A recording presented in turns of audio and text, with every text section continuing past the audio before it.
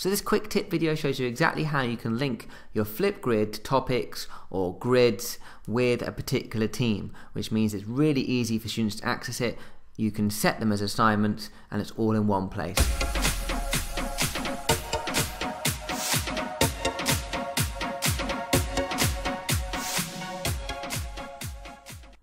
So I've got a couple of options. I can literally add a Flipgrid topic or grid to a, a, tab within Microsoft Teams, or I can actually go to Flipgrid and share a particular topic or grid to Teams and to a Teams assignment from there. So I'm going to show you both. So let's say we're starting in Teams for now, and we want to create a tab at the top that links directly to all the Flipgrid stuff that I'm doing with this class. Okay, so go up to the top, click on the plus, and either I can search for Flipgrid or I can look for it in the list. Here it is, Flipgrid. Okay, I'm going to click Add now what I can do here is I can enter a join code or a flip code URL straight in there. So I go to my Flipgrid online, okay, and I find that particular either topic or grid that I want. Well, they're called groups now, not grids anymore. So here's the, the group I want, okay, and I'm actually going to share that whole group because I want every time I add new topics, I want them to be available to that particular uh, that particular team. So I'm going to get that share thing there, and I'm going to copy that code from there okay? And I'm going to go back to Teams and I'm just going to paste that into there.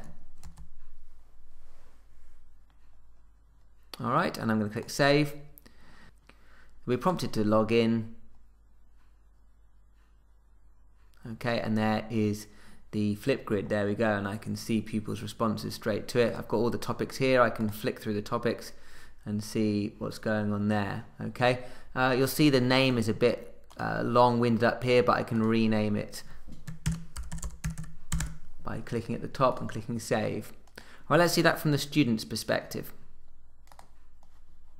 They've got a new tab at the top, as you can see here, called Flipgrid. They click on it.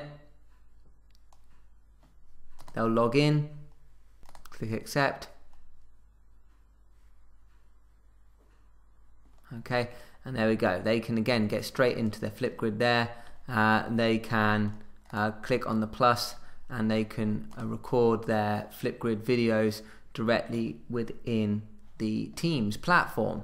So they don't need to go elsewhere, it's all in one place, which is great. You'll also notice that on the posts area that that has now been linked in there. The other option, like I said, is actually to go to Flipgrid itself, okay, and you'll notice that on any of these topics, uh, I can click the share button and I've got a Teams button here, okay. If I click that Teams button, I will get a little window that pops up and I'll be given some options. I either can share it to a channel, okay, this particular topic, uh, and I can write something here about it, or I can actually create an assignment directly.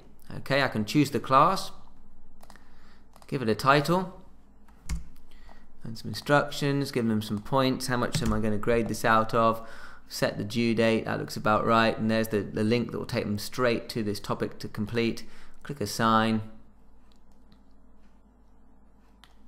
There we go, my assignment has been created. And again, looking at the student's perspective here, we'll now see that they've got a new Flipgrid task in their assignments. They view it, they'll have a link that will take them straight to complete that Flipgrid task.